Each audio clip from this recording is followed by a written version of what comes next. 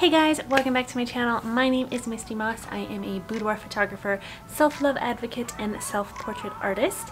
And today I wanted to talk to you guys about something that happened to me about a month ago and I've just kind of got my thoughts together to talk about this openly. Um, in a whole video dedicated to it and that is my Instagram account for my business got deleted. So I wanted to talk to you about it because if you're also a boudoir artist or a creative entrepreneur, I think it's really important that we kind of recognize the platforms that we're using um, and the stipulations that come with using them and the risks that come with using them and growing our business with these platforms. So buckle in, grab a beverage, a tea, a coffee, whatever you would like, and let's just have a little chit chat. So let's do it.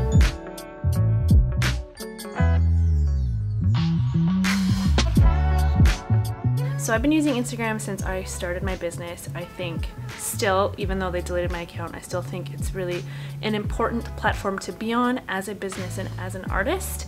I have never put my eggs in one basket and I recognize that our time on Instagram as artists that specialize in this nature of art, um, our time is borrowed essentially. They don't want us there and getting my account deleted has made that super clear to me that that's their space. Um, so I've never put my eggs in one basket. I've always had two accounts going, um, one for business and one as kind of like my personal photography and art brand, which is Misty Moss.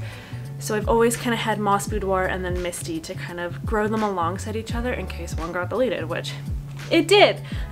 and unfortunately my account with more followers got deleted, of course. Um, as boudoir artists, it's pretty hard actually to grow a following on Instagram. If you are watching this as a boudoir photographer, you kind of know what I'm talking about. We can't use hashtags, you don't show up and explore. Um, you kind of get shadow banned like a lot like a lot. They really just want to make it an uncomfortable experience for you to exist on that platform and so being able to get to 15,000 followers, which I recognize isn't huge, but it also is kind of huge, um, it felt really awesome and I was really excited about the beautiful community and following that I had cultivated there and then I woke up one day and it was gone. No warning. People ask me um, quite frequently when I talk about this or when they bring it up. Oh, did you have any warning? Did you get any posts deleted? Like what happened to lead up to this, to it getting deleted? What terms did you violate? None of them. None of them. I was super careful to always censor my photos and to make sure that everything followed their guidelines to a T. Um, I read them every time they update them, like the whole freaking thing, to make sure that I was playing their rules. Um, but they still decided to delete my account without cause or warning. Um, nothing leading up to it was removed. I got no messages saying like, hey, this post violates our terms. Um, they just poof, wiped me off their map. Uh, I know a lot of accounts that have been deleted unfortunately and quite a few of them have gotten them back so actually when I got deleted I was kind of like well, whatever I'll get my account back no big deal I didn't, spoiler alert. Um, I had a lot of people reach out on my behalf to Instagram to the support team to say, hey, this account was wrongfully deleted. Um, please reinstate it. And I myself went through multiple different avenues. There's like different forms you can fill out on both the Facebook and Instagram page to request that your account get reinstated. Did all of it. Um, they never replied. They are not communicative. They do not give a shit about their creators. So at this point, I don't think it's coming back, so I just started a new account um, so I could share my portfolio and continue connecting with clients and beautiful community members such as yourselves who are watching this. And I had a really good therapy session about it actually. I was like, I brought it to my therapist and I was like, oh, my account got deleted. It's no big deal. She was like, let's take a minute, let's sit with this. That is a big deal. You put a lot of time and energy and money into growing this account. Um, so kind of having the permission to grieve in that way for something that seems really silly, but actually was a pretty big part of my business. It was really nice to just kind of like have that grieving space. Um, and now I have a lot of clarity and not closure, because I don't think I'll ever have closure around it, but clarity around Instagram as a platform. So, talking to you as maybe another fellow boudoir artist, maybe just another creative entrepreneur, you clicked on this video and you're like, hey, why'd your account get deleted? I don't want mine to get deleted. Let's, I want to watch this video to find out why. I can't tell you why. They don't have rhyme or reason for why they do these things. They have community guidelines that you need to follow, and even if you do follow them, you might get deleted anyways. I'm sorry to break it to you. I know a lot of people who have done this, um, who have just been erased. I know a lot of accounts that have content that violates the guidelines or really toes the line um, that have more followers than me that are still going strong and they can post stuff that kind of is in the gray area and they aren't deleted yet so they don't really tell us one thing about Instagram that we that I know maybe you haven't figured out yet um, is they are not transparent at all. They do not communicate with their creators. They really don't incentivize posting to their platform at all. So why do we still use Instagram if we run the risk of just having all of our hard work and our communities ripped from underneath us? Why do we still use Instagram? Because everybody else is using Instagram, our clients are using Instagram, our peers are using Instagram, our friends and our families um, and our community members all use this platform, unfortunately. There isn't a better one. Um, so I created a new account and I'm on it again. Do I love that? No. Am I burnt out? Yes. Am I pissed that this is the evil that we have to subscribe to? Yes. Um, but it's just the way it is. So, yeah. My advice to anybody watching this who is like, hey, that really sucks. I don't want that to happen to me. Um, here are things that I really recommend doing so that if it does unfortunately happen to you as well, you can rebuild. And my advice is always have a backup account. I'm really grateful that I had Misty and my business account to grow them together. Um, my Misty account didn't have as many followers, but there was a lot of overlap with the people that followed both accounts. So I was still able to reach my community and be like, hey, this thing happened to me. I'd really appreciate your support. Um, and there was so much support. I'm so grateful for everybody who reached out to report it or just to kind of be there with me in solidarity as I kind of rebuilt um, this huge part of my business. So thank you, thank you, thank you.